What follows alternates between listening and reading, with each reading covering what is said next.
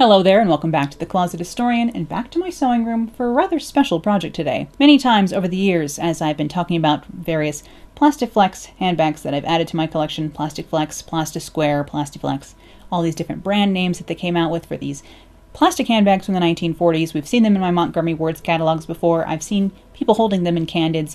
They were a big trend in the 1940s thanks to leather rationing, I believe, is why these plastic handbags, these novelty handbags, first came into prominence. But I'm a big lover of Plastiflex, a big collector of Plastiflex, or as much as I can be. They are quite rare, especially for the like more unique colors. White, black, and brown are the most common, but things like red or yellow, green, blue, rainbow do exist out there. Uh, tortoiseshell kind of colorways are a little on the more common side, but uh, of course the possibilities here are endless, and I've always lamented that no one was printing these tiles anymore because with 3D printing technology, the ability to scan things in, uh, reconstruct things in the computer, design new tile designs even, and then of course print them or make molds and pour them out of resin, what have you. There just seemed a lot of possibilities for reconstructing these handbags that no one seemed to be trying, and if they have, do let me know about it in the comments below. And many 3D designers and printers have reached out to me to say that they do think it's possible and they'd love to work with me on this, but unfortunately I just did not have the time to devote to the whole project coming together. Uh, there's a lot of things I would like to do with these. I would love to have, you know, bug uh, designed tiles and things like that. There's a lot of ideas that brew away in my brain, but I just don't have the time to devote to a huge project right now because I'm working on so many other ridiculous things. So the only way this is really going to happen is if someone just took the initiative and tried it all on their own and then let me know about it, which luckily is exactly what ended up happening. So that's right, I have some brand new 3D printed green Plastiflex tiles to hopefully make into a 1940s reproduction clutch today. Let's go ahead and dive on into this project and I'll tell you a little bit more how it came together. But to get our bearings around the design of these handbags, let's go ahead and look at this patent again, filed by Florence Kuhlman working with R. Apple in September of 1941. And I was able to find an excellent blog post covering the history and doing a lot of in depth research into the beginnings of these bags in a post from the Vintage Purse Museum Photo and History Archive online. I will go ahead and link that below for those of you who would like to read up on the full history of the original Plastic Flex handbag. But in general, we're looking at a basket woven flat cord with plastic tiles sort of threaded onto them. So the tiles themselves are almost threaded like beads onto the cord as they are woven together to hold the structure of this. It's basically uh, you know, if you were weaving with beads but on a larger scale, a much more Lego sized scale almost. And these pieces, from what I can tell, were originally made out of cellulose acetate plastic, or acetate cellulose, whichever it was, uh, an earlier kind of plastic. In handling my vintage handbags, they are very lightweight. That is going to be the difference between the handbags in my vintage collection and the new ones that I make today, because the modern plant based resin tiles I'll be using today in the end are a tiny bit heavier once put together into the bag. But here are a couple of videos I was sent on Instagram from my Plastiflex fairy god people, as it were. Kristina and Tim started designing and making these, sort of heard my call to action for 3D printers everywhere in a couple of my videos, and decided to give these a try. They spontaneously took up the challenge to go ahead and try and 3D render a replica tile to the main style of Plastiflex, printing them out of liquid resin using a UV resin printer, and of course weaving them together with some spare ribbon that Kristina had, where we can already see the structure of a Plastiflex handbag taking shape. They continued refining the design on their own. Of course, I was just excited to see results, but I was not really involved in this process other than being a cheerleader and just being very excited, honestly. Here is the 3D render of the tile. You can see what this looks like in 3D space. These are a little bit thicker than the actual vintage tiles are, but they are otherwise about virtually the exact same size, one inch by one inch here. Um, most of the dimensions of this are very accurate to the actual vintage tiles. And here for the 3D people in the audience, we can see the tile from the bottom up, basically, is what's going on here. Like most 3D printed things, this is printed in tiny, tiny, tiny, tiny micro layers. So each tile has you know, dozens of layers to make up the smooth design in the end because they are rather smooth. And this style 3D printer is one I haven't actually seen before. I'd never seen a resin printer until Kristina and Tim sent me this footage. And here you can see they're printing the green tiles we'll be using today. They agreed to print me a set of these so I could try putting together one of the bags to show you today. These machines are incredibly fascinating to me now that I've seen them at work. Basically, a plate dips into this resin liquid, and then a light underneath, almost like a scanner kind of bed, underneath the liquid, um, shines a UV light only in the places for that layer, and it cures the resin in tiny little micro layers using UV light from below. Honestly, it's still, I think, just kind of magic. I'm not exactly positive how this works. I haven't done a ton of research on it because luckily my involvement in this has basically been receiving tiles and being overjoyed. Uh, that's pretty much the maximum of involvement I was in in the design and printing of these. But yes, Kristina and Tim very kindly printed a full set of these green tiles for me to be able to put together a full-size Plastiflex reconstructed 1940s handbag here. They have also graciously uploaded the 3D tile, which I will link to below if you'd like to print your own, and you will find a link to their Etsy shop in the description as well. And here I am holding one of the 3D printed tiles that they sent me. This is a gray tile, sort of a grayish black. They only have enough of this resin to do one half of a bag, and I'll show you that bag later. But here I am comparing the tile to the original Plastiflex tile here. I have this black and red Plastiflex that I found uh, within the last couple of years. I can't remember exactly which year I nabbed this one. I probably talked about it in a haul whenever I grabbed it because it is in such fabulous condition. We had counted up a couple of different Plastiflexes um, and they're mostly like around 12 by 7 is the like normal size of these clutches. They do come in different sizes, and of course, the different manufacturers are making different sizes of tile, different shapes of tile, different patterns of tile, uh, different ways that they weave together. These ones have the four holes like equidistant on the square. Some of them have, um, instead of the holes being visible, there's just little slits in the sides of the tile. So they're all designed differently. And of course, the options for ways to do this are pretty endless as long as you have like something that can be woven together. You could put whatever you want on the face of the tile, but also just the shapes of the tile. Anything that fits together will work. So if you wanted to make sort of fish scales, mermaid scales, dragon scales, things like that. You could do changing shapes that fit together almost like Escher drawings. You could do things that are more like um, chainmail or um, even like Japanese armor pieces fit together. It'd be really cool to make one of these that look like samurai armor. I can't be the only one who thinks that's an absolutely fabulous idea. No one, and especially not me, owns the design or like the basic idea for Plastiflex anymore. Even at the time, the patent wasn't very uh, strictly enforced. I think they tried to sue one person, and that was in the 40s. They were making these from the early 40s, and then the company that made Plastiflex itself was closed in 1960. So there really is only about a 20 year window when these were being made originally. And you can see the resin here has a almost has a matte shine, which makes no sense. Sort of a velvety soft touch look to them as compared to the more ABS plastic, sort of hard Lego plastic feel of the original tiles. But I laid all my tiles out here. We are going to be making one giant rectangle and then folding it in half, which seems to be how my other Plastiflex handbags from the 40s were done. I did find some wax-coated cotton cord, um, but I was having a hard time finding a good green color. I wanted something flat, about 4 millimeters in width. I ended up going with this 3 millimeter wide leather cord in a dark green shade. And like anything woven, we are going to have basically a warp and a weft, our like vertical threads and our horizontal threads. First thing we're going to do here is string on all these tiles onto their vertical uh, threads, I suppose, as it were.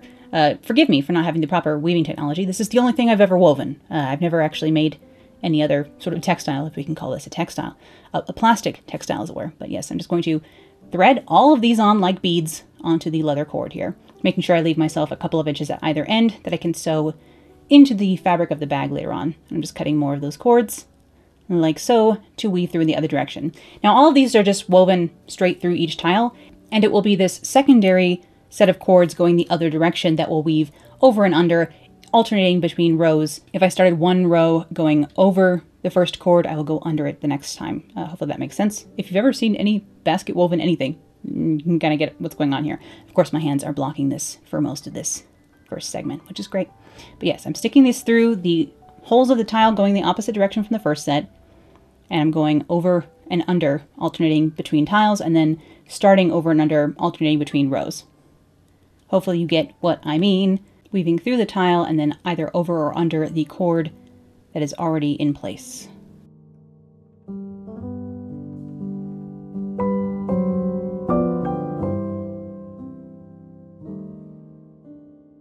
Turning this into a big plastic mat, basically that is woven together. So it's it holds its shape pretty well. This uh, leather cord that I was using is quite finished. Uh, it doesn't have a lot of friction to it, so they can slide off of it pretty easily. So you'll see that when I want to move this in order to start prepping my fabric for the bag itself, I'm actually using one of my uh, poster board patterns to slip under here and kind of uh, move it away like a giant spatula.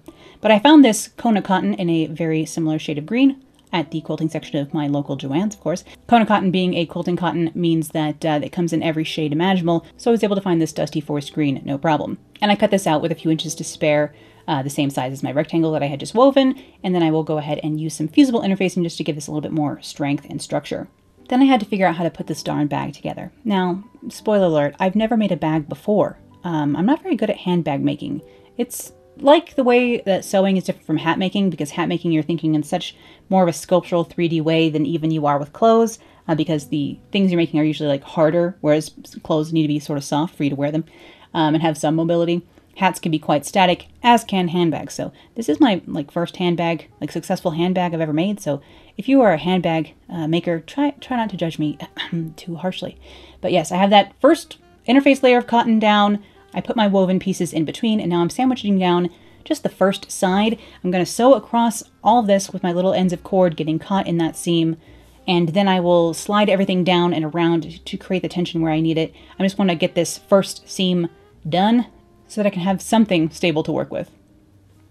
I am using my zipper foot over here on the machine, and I hadn't switched to a leather needle at this point, but because these little pieces of cord were a couple millimeters thick, I ended up switching to a leather needle to sew this. And I was just using a zipper foot so I could get as close as possible to the tiles, but uh, the tiles are about a quarter of an inch thick, if not a tiny bit thicker than that, so um, it's really hard to get quite close while over on the machine, or at least with my machine it is. Now, in between the two sides of the bag, you can see I'm trying to create a little bit of like a, I don't know, quarter inch gap. That is where it's going to fold in half to create the like front and back of the bag. I just wanted to give a little bit of extra ease there in the cord to facilitate that bending in half. And I next want to go ahead and secure the cords down the other side. They are just getting sandwiched between these two layers of cotton. Of course, I have the layer of cotton with the interfacing right underneath the tiles, and then this is going to be kind of the lining of that. So I just have this single layer of, again, Kona cotton here. And again, I'm trying to stitch as close to the tiles as I can, but I can't get very, very close because of the thickness of them. So I'm not sure this is the best way to put this bag together, by the way. I'm just making it up as I go along. If you have any suggestions for me on ways this would be easier to do, let me know. I was just basically trying to copy my handbags that I have in my collection as best of my ability, and it seemed to me that they were done in this way where it was uh, one big rectangle that was folded in half, and that the bag lining was separate from the lining. Like there was a the plastic tiles, and then there was two layers of fabric, and then there was a whole separate lining with the zipper inserted. So uh, there were three layers of fabric at least going on. Some of my handbags also have cardboard in them to help structure them out, but this bag was actually going to be a little bit heavy enough on its own, so I didn't actually add any additional structure other than the tiles and the interfacing to this one. So with my initial lengths of cord stitched down on either side, this turned right side out again, I can start thinking about folding it in half. I wanted to maintain this bit of ease here where the fold needs to be while I basted down the other ends. So I actually stuck some colored pencils here in between the tiles to try and give myself like so that if they wanted to move around on me they couldn't get too close to one another. Hopefully this makes sense. So I ran some basting stitching down either side of this just to hold the cords in place, if not hold them in the correct place, uh, just to hold them down so none of my tiles were sliding about on me. Um, and then this is the part where I really wished I could get closer. I think it's easiest to do this by hand sewing it. I will machine stitch one side and then I'll slide all my tiles over as far as they can go to try and create, you know, enough tension here so nothing is super loose. So this side I managed to stitch by uh, machine, but the other side I just couldn't get close enough to maintain tension and I ended up hand stitching the other side. Yes, and of course turning this right side out was no longer very fun because this is getting more and more structured by the second. So here I am turning that right side out, ooh, and sliding my tiles down, like so, to try and access the other side. And yes, I am just going to try and make this as tense as possible. I was feeling bad about having some of my fabric show at the sides until I looked at my other Plastiflex handbags in my collection, and they were also showing fabric at the sides. Also, I think the company that made these originally uh, was a leather handbag company, and so they had different kinds of machines for sewing seams together on leather that I do not have. So I think there are separate kinds of like industrial leather sewing machines that can get into corners and structured places easier than I can, at least on my home sewing machine. Of course, I can do things a little bit easier by hand. Easier, but it takes more time, and I did have to use a thimble a little bit to get through some of these thicker seams. But I will go ahead and slip stitch this up and down um, for extra security along this other side, just so that I can Again, have as least amount, the least amount of extra fabric showing at the sides as possible, like so. But yes, please, if you have a better way of doing this, do let me know. Uh, give me your suggestions below, especially if you are interested in handbag making, uh, because again, not my strongest suit.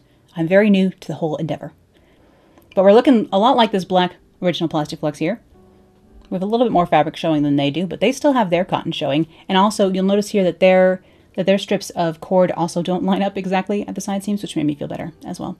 So I'm going to take my lining piece of fabric here. This is just uh, the exact size of my rectangle here. I didn't even bother to make it a little bit smaller because if it was a little bit bunched inside, I don't care. Um, so I'm just going to take a metal zipper, a little bit, maybe two inches, three inches longer than my opening at the top of the bag, and I'm going to stitch that lining down right side of the lining, like down, this feels so odd to do the bag lining. I the first time I did this, I did it backwards, which Um, and I'll show you the little black bag I made. And you will know the secret that the lining in that one is messed up. But this one, I remember to make the lining backwards because, of course, I need the lining, the, like the right side of the lining to be inside the bag and the like raw edges like this to be between the lining and the outer layer of the bag. Oh no, none of this makes any sense. I am being confusing as always. Just know that I'm making it up, so it's hard to explain because I don't know what I'm doing. But after I had the zipper in the top edge here, I went ahead and sewed the side seams of my lining here. Again, this was um, done on the fold, so the bottom of this is just the folded edge. And yes, my zipper is longer than my bag, like so. So it's just gonna stick on the inside, again, in between these two layers, like so. So I have this little bag to stick inside my bag, basically. This does mean that I can change out this lining if I ever need to uh, for any reason, which is kind of nice. You know, if something spills in your handbag or something like that. Of course, the cotton here, it would soak through to the other layer of cotton, but hypothetically, you could use something else that was a little bit more waterproof if you wanted to. Some of my bags have cotton linings, and some of them seem to have like an acetate or rayon kind of lining in them. So uh, it sort of just depends on the bag. Most of them I feel like have cotton, but a few have a more rayon feeling sort of thermoplastic, sort of early thermoplastic lining. But I'm just going to position this on the inside and then uh, hand stitch this down all around the top because I couldn't figure out a better way to get this in here. Uh, if there's a way to do this by machine, let me know. Again, I, I couldn't figure out a way to do it, so I ended up backstitching this in here um, all along the top edge just to get it in position. This zipper should sit about a half inch down into the bag. Um, I couldn't figure out how to make it stay like that quite nicely, you know, again, it's for my first handbag. I don't think I did too bad, right? They did actually have Plastiflex kits that you could buy, um, not from Plastic Flex, but from one of the other companies. They had um, kits where you could buy this tiles and learn how to put them all together. I don't know if I haven't seen any of those kits or any information on them other than that they exist online, but hopefully one will come to light someday. You know, someone who never put one together and it's sitting in grandma's garage somewhere, because that would be amazingly illustrative on how these were supposed to be done. A couple of my bags have extra tiles as the zipper pulls, so that's what I'm doing here. Weaving a couple of extra tiles into a zipper pull to add onto my zipper here for the final touch. A lot of uh, Plastiflex handbags have really cool lucite pulls on them, or like a matching, like my black Plastiflex has, my bigger black Plastiflex, I have a few, um, has a matching, like separate but larger tile um, as a pull. But I was just tying some of my extra leather here together around two of the extra tiles to create this little toggle.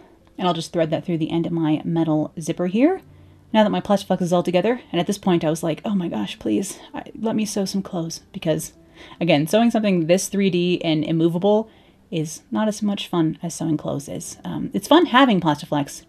I'm not going to lie and say it's the most fun putting one together. No, now I can say that because before I had no idea.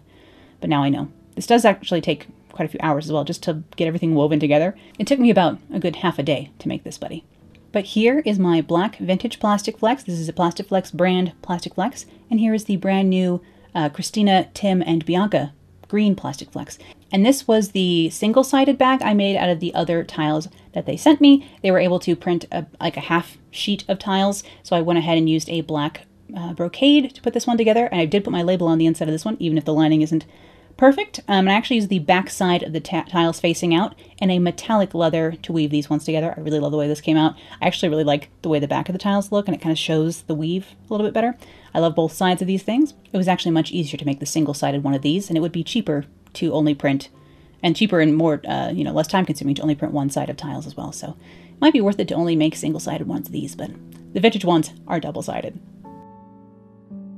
Thank you again so much to Kristina and Tim for printing these tiles for me to try. I'm super excited about having a green Plastiflex finally. They are very rare and hard to find, um, so this was kind of the only way I was going to get one for under several hundreds of dollars, so thank you so much for adding a green Plastiflex to my collection. I know I'm super excited about the possibilities in this arena. I still think there are many options. Of course, there are as many tile designs as the day is long. You could do so many different creative things with this, and it's not like the uh, patent for Plastiflex is in date any longer. I think we're all allowed to play around and make them. So if you are also a 3D designer who wants to get involved with the Plastiflex adventure, I'm sure you know there's there's plenty of ground here to be tread. I hope you enjoyed seeing how this rather special project came together today, and thank you as always for watching. I'll be back with more sewing, vintage fashion, costuming, and crafting real soon. So I'll see you then.